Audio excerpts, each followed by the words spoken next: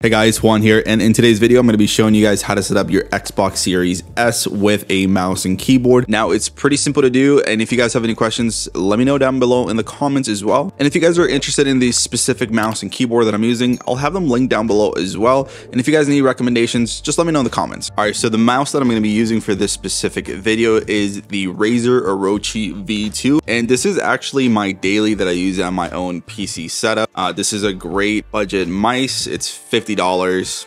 Honestly, it could be even be cheaper at the moment, but this is a great mouse. All you really need is that wireless dongle and you'll see they usually come with a wireless dongle so you can connect it to your PC. Now for the keyboard, I'm going to be using one of my favorites. This is the TH68 from Epomaker, and it's got that yeah, it's got that juicy little clickiness to it. And this is just a pretty good board overall. It's not crazy expensive either. I believe it's around 60 to $70. So it's not crazy, but it's definitely on the higher end of the price points here. Uh, so this one is wireless and it's wired, but we'll be using the wired connection to set it up. All right, so here I have my Xbox Series S. I'm just gonna go ahead and plug it in as I normally would with my normal power adapter here and then of course my HDMI as well. Okay, so on the console itself, you have three USB ports. You have one in the front and then you have two in the back as well. So they're all gonna work the exact same way. So it's up to you where you wanna connect your stuff to. Okay, so I'm gonna go ahead and plug in my USB-C cable into my keyboard here. And then I wanna plug it into the back of the console here.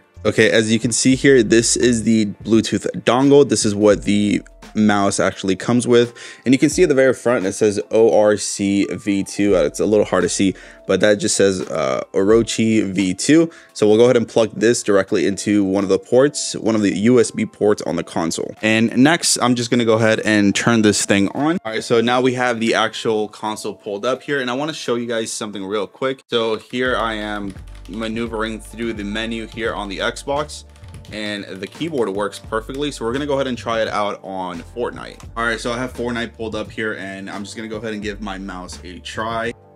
And as you can see there, it's working perfectly. Click to start, and then I'm gonna sign in. Sign in there. The keyboard is responsive as well and it works just fine. Now what I want to do is go ahead and get into the game and just kind of show you guys that it does work and that the process itself is fairly easy. Okay, so one thing I want to mention before anything is that you do need to have an Xbox controller plugged into your Xbox to play with the mouse and keyboard, mainly because of games like Fortnite, it will give you a notification telling you that, hey, you need to plug in a controller to play this game.